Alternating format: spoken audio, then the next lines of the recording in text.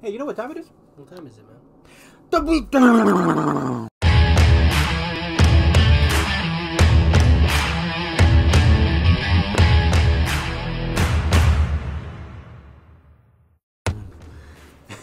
hey, welcome everybody to another episode of the Beatdown. I'm your host, Class. Is my co-host, Mr. J. and we're back at it again. And we listened and heard your concerns about what you wanted us to do next, and we decided we're going to do cartoons.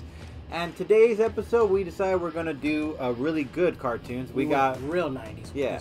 So we got a childhood memories here. I got Ripster from uh, Street Sharks versus who we got? Goliath from the Gargoyles. Yeah, yeah. So we got ground versus skies. It's gonna be a pretty interesting fight. And I figured to, I'd I'd go first on the argument and the sake for the situation. Um, now, when you look at the Street Sharks, they have incredible durability and incredible enhancement. Now, the reason why that is is because they were experimented on ordinary guys turned into really big, huge looking mutated sharks. And now they can literally swim in the streets, the grounds we walk on and everything. They can run through like nothing. And they can eat anything like nothing, like it's a piece of paper or it's food, like it's chowder. Um, so they are pretty tough, and they have, and you would probably get annoyed to have to deal with them because they have so many puns on like fish and all that stuff A lot of that you may want to you want to throw down with them. So Ripster is no exception to that, but Ripster at the same time is a awesome. is a He didn't know they said that. ah man, my childhood has been ruined. I. I didn't remember that either. I love the action figures though. Don't get me wrong; they were they were amazing. Um, but Ripster is the leader of the group, and he is probably the smartest one of the group, and is very creative, and he actually is very inventive. He can create things. So, um, given him a fight against an old relic like what's his name again? Glad Gladiator. Goliath. Goliath. Sorry. given the Gladiator, Goliath. Um, what do you call it? And no, we're not talking about the Six Flags ride. Uh, so when you got Goliath going against somebody like that who's like kind of old and ancient, you got to remember even though he is capable of reading and he is very adaptable to the environment, Extremely. the street shark guy was born and raised in these streets, so he has a little more familiarity to the area. He's familiar to the territory. So, given into a situation where, uh, where we're talking about an old school um, gargoyle going against someone who actually knows what he's doing in this current stage, he's gonna have a dis- he's gonna have a disadvantage. He's gonna have an advantage against him. He's got the invention smarts. He's got the already knows the area pretty well situation. So if he ever met Goliath and he actually had Goliath go down on, you know, this Ripster guy actually smart enough to probably figure it out. He's gonna have some capability to know that this that this is not gonna be just an easy foe. But at the same time, he also has his crazy, incredible strength and durability and all this stuff. So he still has an upper advantage here. Even if Goliath decides to get a grip on him, those jaws kind of be hard to kind of fight against. You're not gonna just have him in the sky and try to fight him while he's clenching his jaw in your face. That's impossible, especially when you can rip your head off. Um, you can see the size of his mouth. Um, so obviously Goliath is gonna want to keep it on the ground, but at the same time not too on the ground because clearly Ripster can just grab him at any point and drag him down to the ground, eat through the freaking concrete and just carry him with him. And if he wants to, he can hit to a, a sewage pipe, bam, wind up in the water, and actually just drag Goliath down through water and just kill him like that. Or if he wanted to, he could just just grab him in general and just beat the crap out of him. Look, Goliath is strong, but is he stronger than a mutated shark who can rip through concrete and metal and everything and eat through it like it's nothing? I don't think so. He's, there's Maybe. just so many disadvantages. I gotta say. There's a lot for Goliath, yes. Um, but Goliath has a lot of experience in battle and warfare. I think that is going to give him a. Yeah, it's going to give him an edge. Mhm. In the environment, no. Environmentally, no. He's not going to have a. He's not going to have an edge because Ripster, obviously, he, yeah, he might know the city.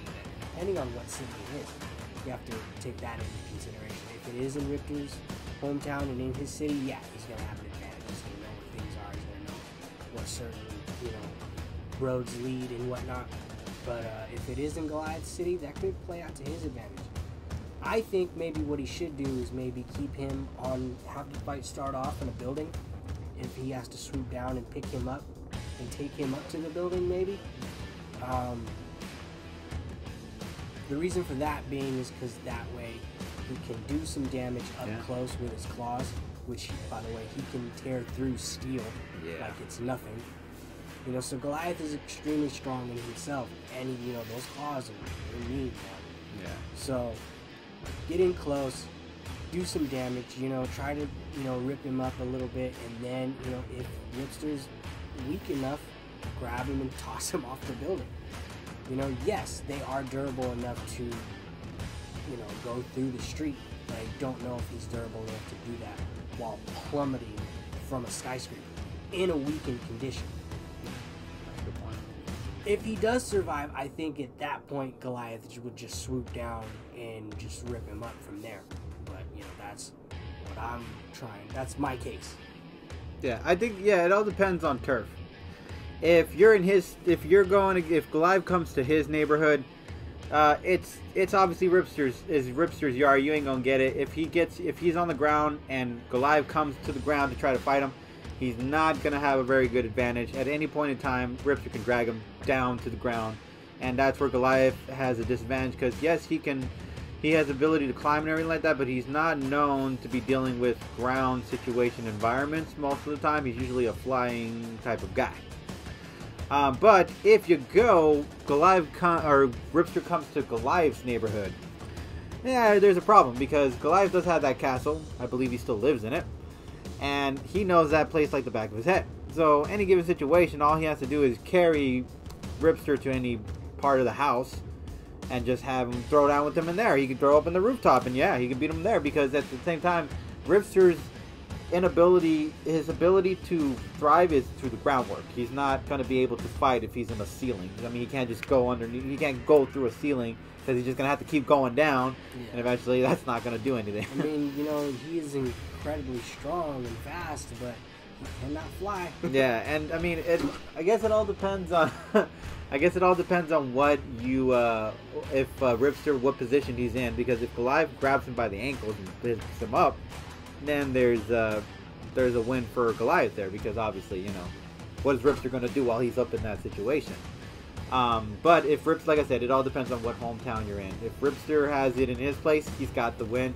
If Goliath has it in his castle, he's got the win. That's really clearly all we can really say about that. Um, and if you don't know who they are, I mean, you, it's, it's you should look up some '90s. I mean, they're you on never YouTube. watched cartoons in the '90s. Yeah, we watched some really good ones. I mean, and they're they're one Street Shark was about, if you're not already aware, about sharks, but they're obviously marketing for toys, and the toys were dope. It was a huge toy marketing. Thing. Yeah, but then uh, you know, when you think about the gargoyles too, it was a huge marketing thing too because they were awesome. Um, a lot of people, I, I loved both shows. Um, but we're not, we're talking about who would win in a fight. And at the end of the day, we already made our case. If you guys agree or disagree, no matter, you guys can leave it in the comment section below. Let Just us our- know. Give us a recommendation. Yeah. Uh, we do appreciate your recommendations. We're going to keep doing it on Instagram. We're going to ask you guys what you guys want us to do next. If you guys like this one, we'll do more cartoons. If you guys want us to do video games, you guys want us to do superhero comic books, you guys want us to do action star movies, we're going to give you those options. You guys get to vote on Instagram. You'll Gotta be finding give out people C-Class. what they want. So, as always, really appreciate you guys. Uh, catch you guys later. Peace. Magic words.